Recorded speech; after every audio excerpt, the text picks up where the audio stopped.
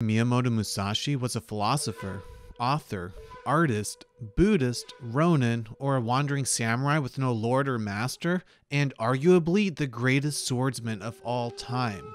The date of his birth is mysterious, as well as his exact origins. Best estimates argue he was born circa 1584 as Miyamoto Bennosuke, his childhood name, in Harima province to the rice farmer and swordsman Shinmen Munisai. There is debate if Shinmen was even his biological father, and who his mother was is even more mysterious. Regardless, the swordsman helped raise the young boy. From age 7, his uncle Dorinbo raised Musashi, whose restless nature eventually led him to the life of the sword, Bushido, Buddhism, and becoming one of the greatest champions in recorded history. Throughout history, champions appear as virtuous individuals who would battle on behalf of a group, army, school, or philosophy to settle disputes against opponents.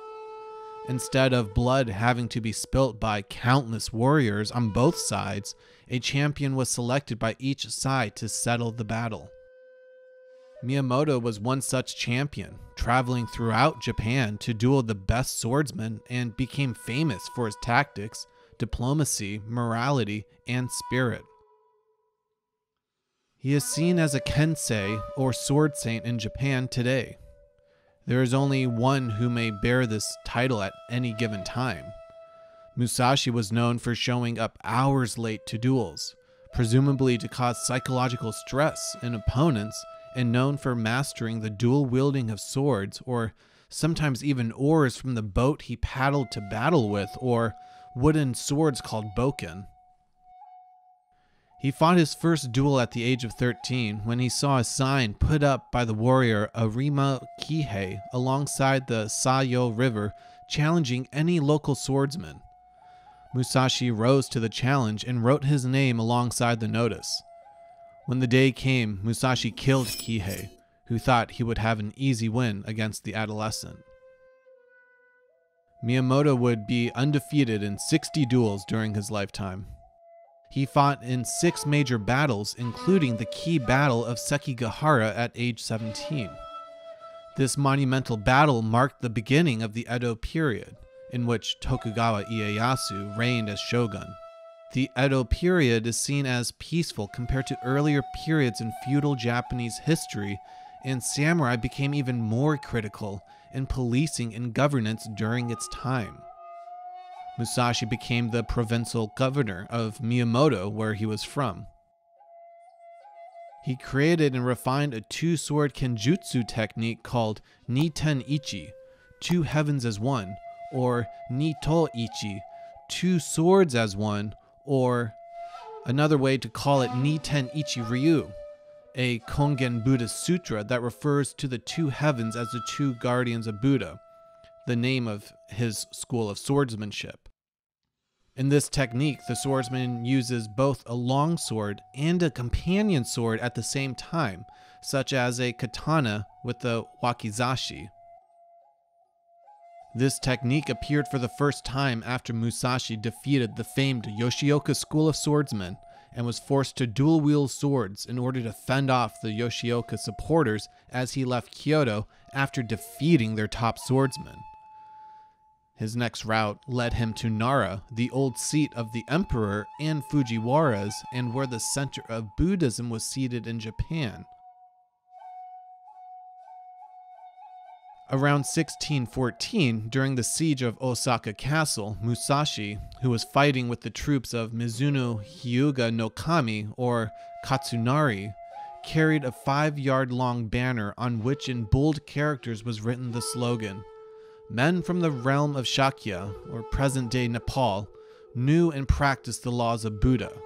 We know and practice the laws of the art of war.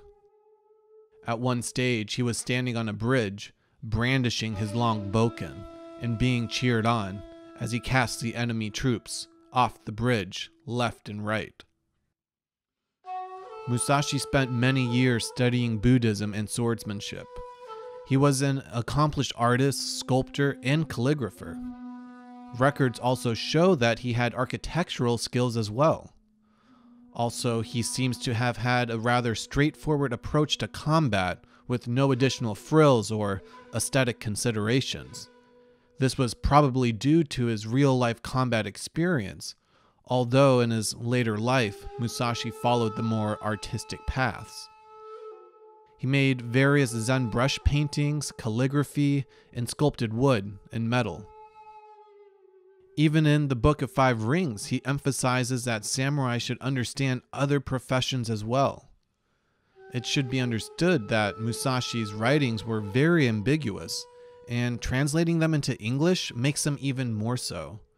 That is why so many different translations of the Book of Five Rings can be found. Musashi grew up in a highly misogynistic Japanese society, yet I believe his teachings can be applied to anyone. In his influential book, used even in business schools today, Musashi writes there are four ways men pass through life as gentlemen, farmers, artisans, or merchants.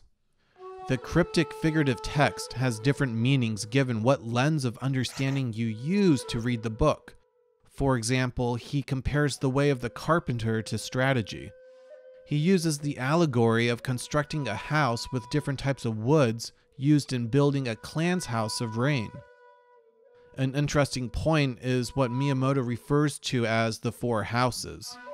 This refers to the game of Go, which was the game of strategy at the time for nobles, statesmen, and the elite. Compared to, say, chess, the number of possible moves in a position is much larger. In chess, it's about 20.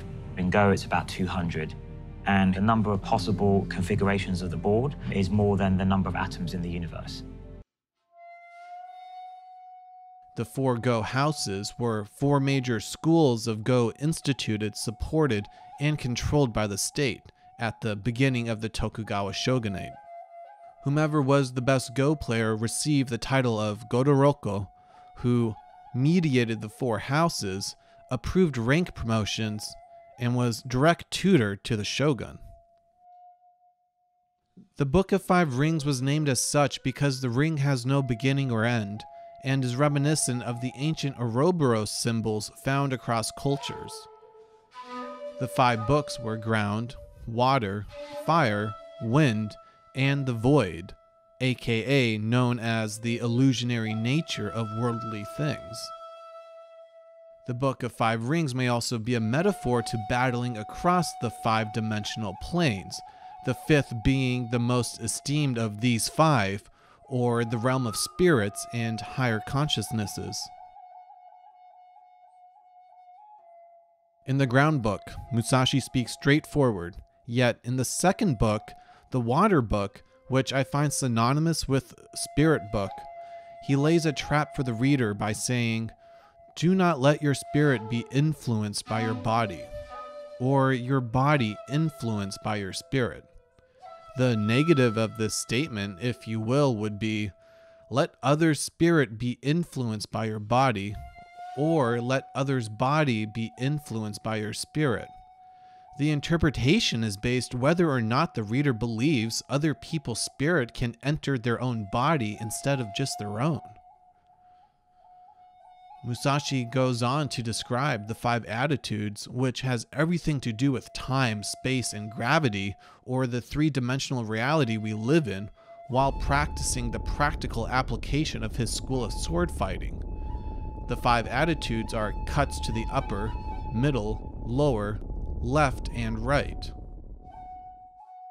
One of the few major battles with documented evidence that Musashi participated in was the Shimabara Rebellion, when he was at the age of 53. Catholic rebels supported by Ronin and Portuguese traders revolted against the Tokugawa and Dutch, led in help by Musashi, who served as one of their field commanders rebels were fighting against drastic tax increases instated by the daimyo Matsukura Katsuie, who violently opposed Christianity and who broadly raised taxes in order to construct his new Shimabara castle. Catholic rebels turtled in Hara Castle while the Tokugawa backed daimyo received over 125,000 troops to squash the rebellion. The Buddhist Musashi reportedly fell off his horse when a Catholic rebel threw a rock at him. After months of fighting, the rebels were killed, and the Dutch proved their loyalty to the Tokugawa, thus setting their firm trade monopoly with Japan. The history of religion for power, control, and money are inextricably entangled in Japanese history, let alone world history. Tokugawa saw Catholicism as a threat to a unified Japanese spirit and decided a hybrid of Buddhism and Shintoism was the best spiritual path for Japan going forward. Organized religion would be tossed in the air again during the Meiji Restoration and the overthrow of the Tokugawa, where Western organized religions again would make a re entry into Japan. The Ronin philosopher, artist, and grizzled swordsman Musashi completed the venerable text on the subtle art of strategy, the Book of Five Rings, during his final years. In it, Musashi shared his teachings and was where he finally gave his full name Shinmen Musashi no Kami Fujiwara no Harunobu during his last days of his life. Musashi claimed his bloodline to be direct descendant from the influential Fujiwaras, who dominated the politics of the Heian period through the monopoly of region positions organized religion, and strategic arrangement of marriages of Fujiwara daughters. Fujiwaras of the time acted on behalf of child emperors and empresses until they were of age. This influence lasted until the Meiji era, when the Bushido system dissolved in governance application and swords were traded by the merchant class for guns that were brought in by the West and quickly catapulted the previously lowly merchant class to the top of the social hierarchy, and thus transforming Japan forever.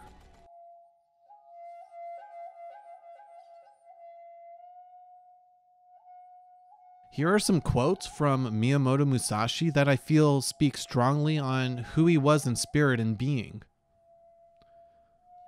Both those teaching and those learning the way are concerned with coloring and showing off their technique, trying to hasten the bloom of the flower. Think of the enemy as your own troops. The teacher is as a needle, the disciple is as thread. In short, it is difficult for large numbers of men to change position, so their movements can be easily predicted an individual can easily change his mind, so his movements are difficult to predict. If you are following the true way and diverge a little, this will later become a large divergence. In my strategy, one man is the same as 10,000, so this strategy is the complete warrior's craft. In everyday life, you must act like you are always in battle, though you're not. And when you are in battle, act like you are not fighting when you are. All things entail rising and falling timing. Find the relevant timing. First, seeing the distance timing and the background timing. This is the main strategy. It is especially important to know the background timing Otherwise, your strategy will become uncertain. All the five books are chiefly concerned with timing. The important thing in strategy is to suppress the enemy's useful actions but allow his useless actions. When you cannot be deceived by men, you will have realized the wisdom of strategy. When you learn about other people around you, then you can learn about yourself.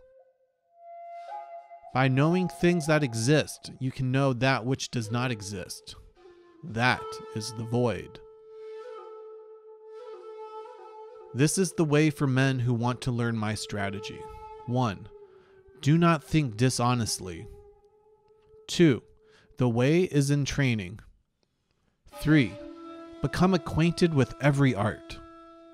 4. Know the ways of all professions. 5. Distinguish between gain and loss in worldly matters. 6. Develop intuitive judgment and understanding for everything. 7. perceive those things which cannot be seen. 8. Pay attention, even to trifles. 9. Do nothing which is of no use. Miyamoto Musashi is believed to have died from lung cancer at the age of 61. He wrote other books called The Path of Aloneness and The School of Strategy of Two Heavens as One. He remains as one of Japan's greatest philosophers, samurai, and artists. Thank you so much for watching. Please like and subscribe if you enjoyed this video or you just found it useful. I am making some videos based off of your comments, so let me know down below what videos you'd like to see. Until I see you on the next one, have a great day.